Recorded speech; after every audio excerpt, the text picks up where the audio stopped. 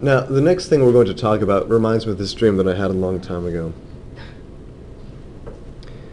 I was in a computer lab in my dream and I was arguing with somebody about the order of operations.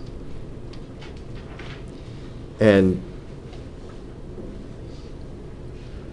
he was doing the order of operations wrong. And I said, I know PEMDAS. PEMDAS is a good friend of mine. And you, sir, are no PEMDAS. You guys know PEMDAS, don't you? No. I do. All right. Some people know PEMDAS, and I never ever said this until I started teaching this. Please excuse my dear Aunt Sally. Sound familiar? I don't have an Aunt Sally. I don't either. I always hated this. Now, here's how many steps do you see here? Six. If you see six, you are wrong. You have one, two, three, four steps. Here are the steps. Step one, P stands for parentheses. Really what this means is any type of grouping symbol. Do what's inside the grouping symbols first. Now we may use parentheses, we may use brackets for grouping symbols, so just be aware of that. So after parentheses, we have exponents. So after you've done what you can do inside parentheses, then you move on to exponents. Step three is multiply and divide from left to right.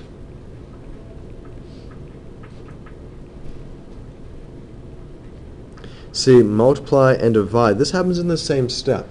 Multiplication and division are, are sticky mathematical operations. They will stick numbers together. They're kind of gluey.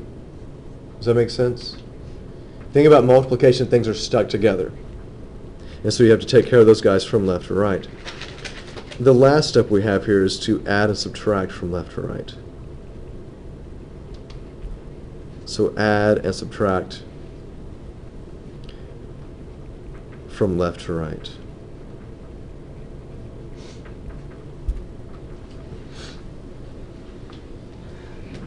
Four steps. Only four steps. Are you with me? Now, we saw some of this uh, the other day when we were working with uh, the distributive property.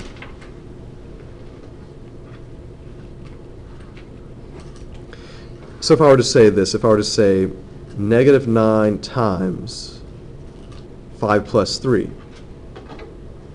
I could very easily use the distributive property. Or I could do the order of operations here.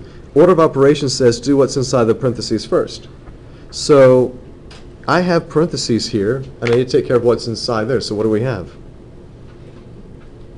So it's negative 9 times 8, and I've finished this. There are no exponents.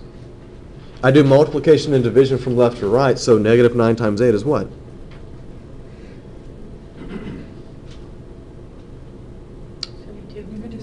Negative 72.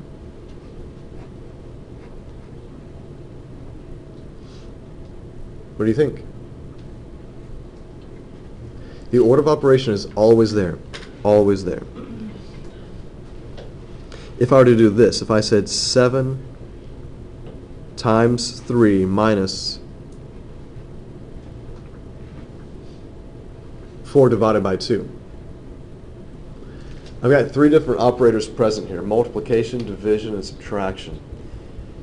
Go through the order of operations, and you may write this down on every single page on your test. PEMDAS. Do you have parentheses to worry about here? Grouping symbols? No. Two. Do you have exponents? No. Three. You have multiplication and division? Yes. Now this is what this is what I'll do. I've got multiplication and division here and here, right? What do I do first? I've got multiplication first, and then I'm going to have division second because they go from left to right. So what does that give me?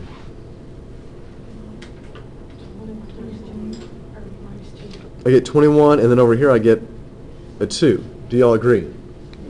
Multiplication connects the 7 and 3. It sticks them together. 4 divided by 2 sticks together those guys. And now I have 21 minus 2. So what's 21 minus 2?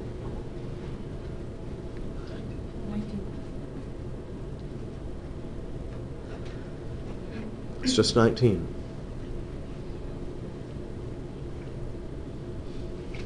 Questions about that? All right. So, So what? so we got, okay, you decided to do four divided by two first. Then you come to, okay. I do multiplication and division from left to right as it occurs in the problem before I get to addition and subtraction. For example, if I, if I were to have this.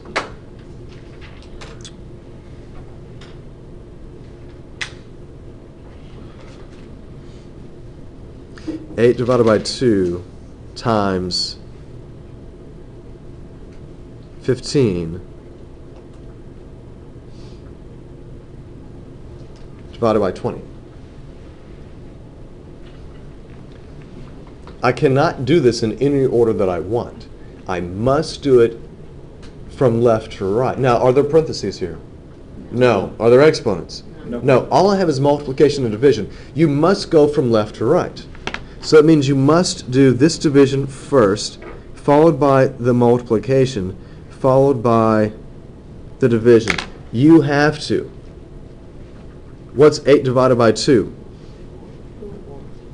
So this first part is 4, and then bring down everything else. So I've got 4 times 15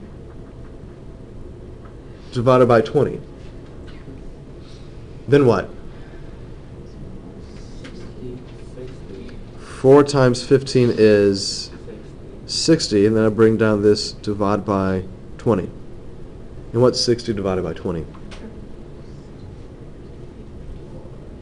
What is it? It's just 3, right?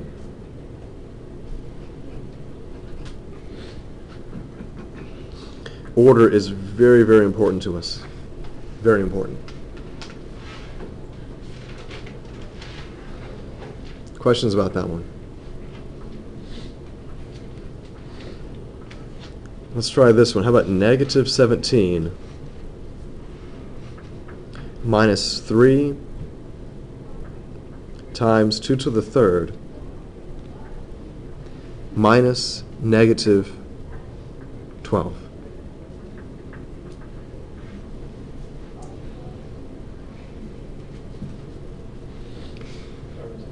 When you look at this, I, I need you to be able to see what's connected and what's disconnected. If you have addition and subtraction, that separates your pieces. So I look at this, I say I've got negative 17 by itself, and then here's a minus, so there's something else that comes after it, so it's kind of separate, separate from that. I see 3 times 2 to the third. I see this guy right here. This guy, to me, feels like he's all glued together because he's stuck together through multiplication. And you've got to train your brain to see it that way. I've been doing this so long, I see that, and I see them stuck together. And I know that I can't do negative 17 minus, I can't do that. If I do that, I'm wrong. I do what's connected first. Here's a minus sign, so that's, that's separating this guy from the rest of the problem. What of operations first. Are there parentheses? There are, but is there anything to do with that negative 12? Not really. No. If it said 2 minus 12 on the inside, yes. All right, so uh, exponents. Do I have exponents to do? Yes. Exponents are right here. Now, here's something you need to understand. We said exponents, that's really multiplication, right? So even though it says do exponents first, that is true, but if you see that 2 to the third is really 2 times 2 times 2, you're just seeing it as a big multiplication problem. So this is negative 17 minus 3 times what? 8 minus negative 12. All right? Exponents are done. Multiplication and division from left to right. So that's just a negative 17 minus 3 times 8. What does that give me? That's minus 24. Now, I kind of see this as multiplication. A minus minus 12 is what? That's a plus 12. Am I done with multiplication and division? Yes, the last step says add and subtract from left to right. But what we know is that we have the commutative and associative properties of addition, so the order doesn't really matter. I can rearrange this in any order that I want as long as you know you have a negative 17, a negative 24, and a positive 12 that you're adding together. So I'm going to do this. What happens when I combine these two guys right here?